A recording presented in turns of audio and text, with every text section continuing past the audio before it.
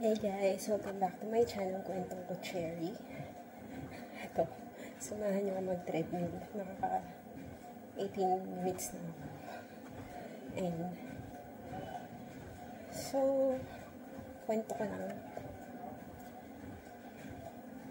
Dali, hirap mag-salita. Pero wala lang, gusto ko mag-video ngayon kasi, ano, naka one month na ako uli ng pagbabalik loob sa pagtitreadmill.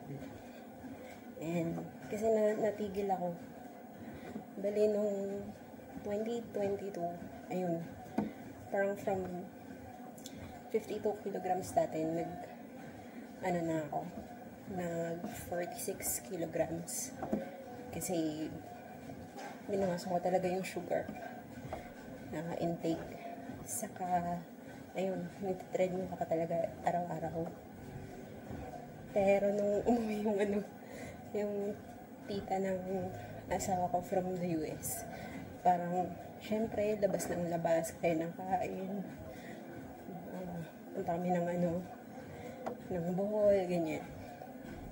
So, natigil yung routine ko. Kasi syempre, di ba, parang, minsan lang sila uwi, minsan lang sila makasama, tapos parang, ikaw maging KJ ka ba sa pagkain, di ba? So, yun. So, nag-indulge din ako. And, nung pagbalik ng US, dapat babalik na ako sa pagtitraining. Nagkaroon naman ako ng ano, injury sa paa. So, kinailangan akong ano, uh, mag-surgery sa paa. Minor lang naman. Pero hindi ako nakalakad for a long time. Every time i-attempt ko ulit mag-treadmill, wala, naano talaga ako. Sumasakit siya talaga. So, yun, parang nawala na yung routine. And, parang mas mabigat pa ako pag nung ano, nag-gain ako ng weight. So, parang nag-54 pa ako eh. 54 kilograms. So, ngayon, sabi ko nga, nagbabalik loob na ako sa pagtitreadmill kasi yung anak ko, sabi sa akin, sabi sa akin, Mom, please get rid of your fake pregnancy belly. o, diba? So, yun. So, eto pang 30 days ko na.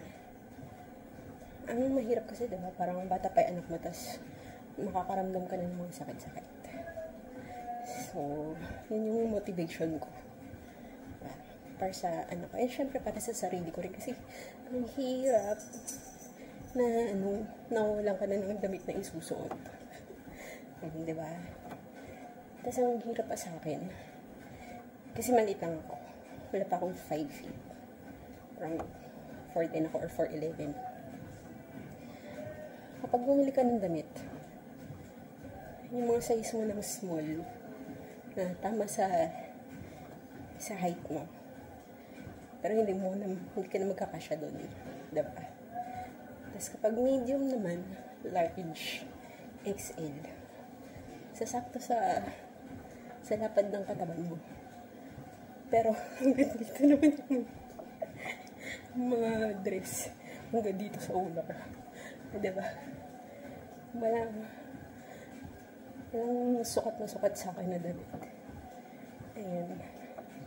Hindi gaya dati. Mas madali. Mas madali. Dati sa ano ko bumibili. Sa teens. Kasi sobrang payat ko talaga. Parang nasa 36 kilograms lang ako. Bago ako mag manganak noong 2015. Um, underweight ako. Tapos, ayun, yun, nag-gain ako over the years kasi sa pamilya ng asawa ko, parang mortal sin yung hindi ka kumain. Tapos pag lumabas talaga sila, kasi sobrang parang piyesta kapag nag-order sila. Ayun. Eh, sa amin naman, sa, sa family na, family ko, before, hindi kami ganun. Sakto lang kami. Palagi. Kahit order sa labas, sakto lang yung food namin. Ayun, yung parang dapat laging manang matira. Ayun, so, hindi kami, ano, nag-order ng sobrang dami. Yung sakto-sakto lang. Anyway, So, ito na. So, nag-start ako uli.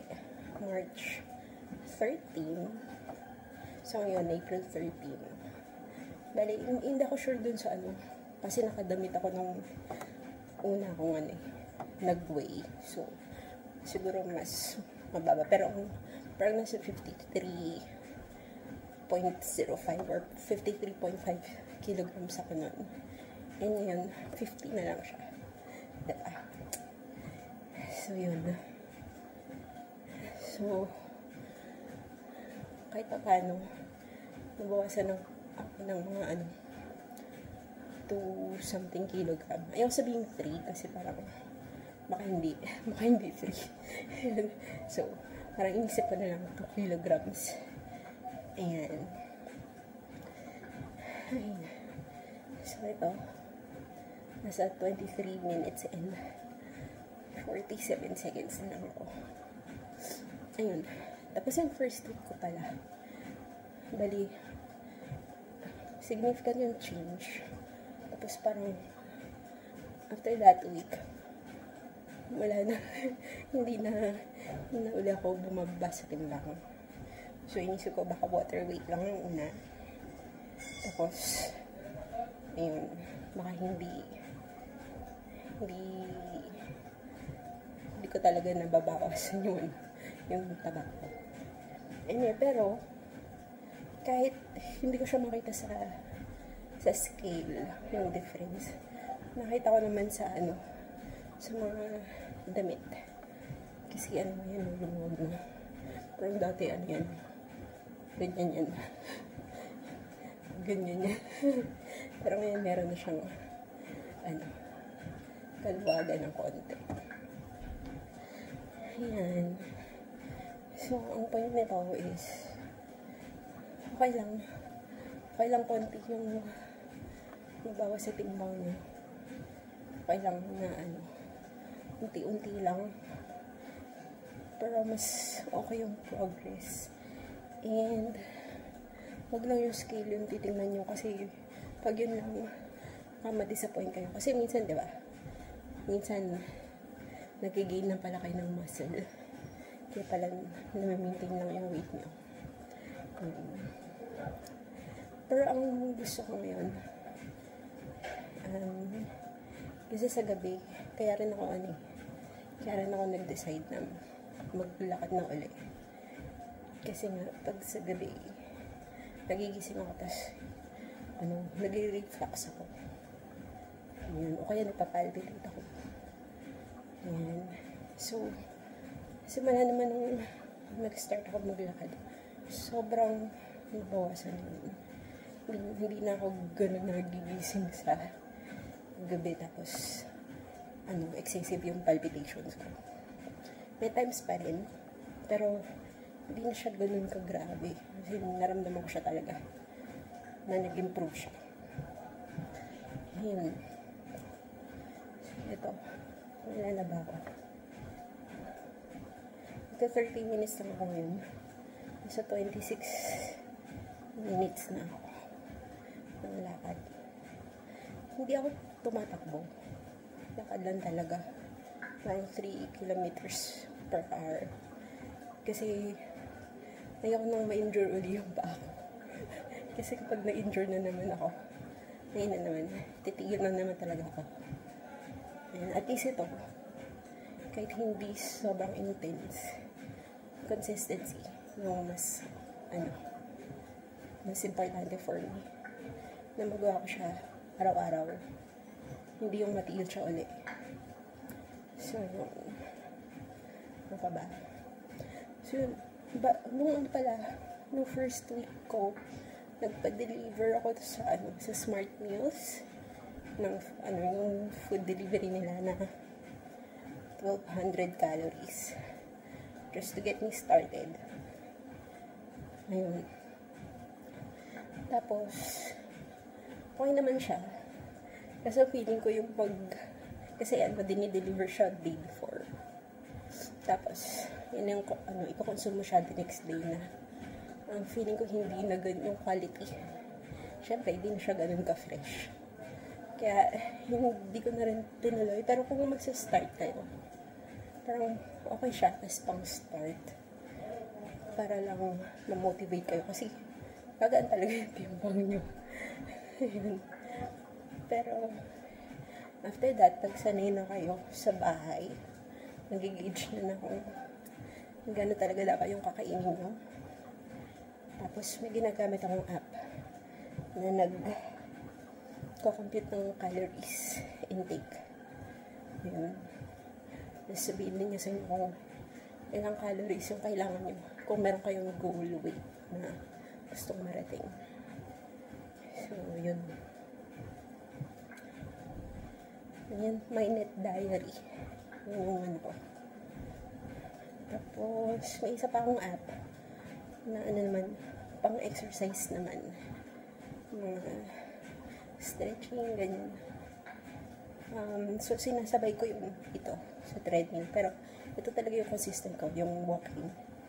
Um, yung yung sa app na yun, sa exercise, minsan hindi ko siya nagagawa. Para may pahinga din yung ano ko, yung katawan ko. So, yun. And, yung minsan nagugulat ako kasi minsan napaparami pa rin akong kain. Pero, kinabukasan pag nag-weigh in ako, ano, meron pa rin namang ano, nababawas sa timbang ko. And, nakikita ko pa rin yung change sa ano, ito. So, sa waistline, saka sa arms, saka sa legs. Ayun. Tingin ko meron na rin sa face. Parang, dati parang butchog na to. Ayun. So, yun. So, ako, nag-iisip na rin kayo na, ano, mag-start. Ano lang, subukan nyo lang. Hindi nyo kailangan may treadmill kayo. Kahit na ano, lakad kayo sa harap ng bahay or sa loob ng bahay. Di ba? Kung imposibleng maglakad sa labas ng bahay. Lalo na ngayon napakainit. Yung baka may heat stroke pa kayo. di ba? Pero, um, give it time. Nag-start ako mga 5 minutes a day. Tapos, uh, gradually in-increase ko yun. So, minsan, um, naglalakad ako ng ano, 30 minutes after every meal. Ganun. Minsan, pag ano, nakaka 1 hour pa ako. Ganun. So, yun. Alam ko mahirap magsimat. Pero, try nyo gawin. And, try nyo maging consistent. And, maraming benefits. Ayan. Hinihingal ako. Pero, at least, pag tuminto ako, ano, mabilis nang bumaba yung, ano, heart rate ko. Mabilis nang makarecover. Ayan. Ano siya, sige. Babay na muna. Ka 31 minutes na ako. See you again next time.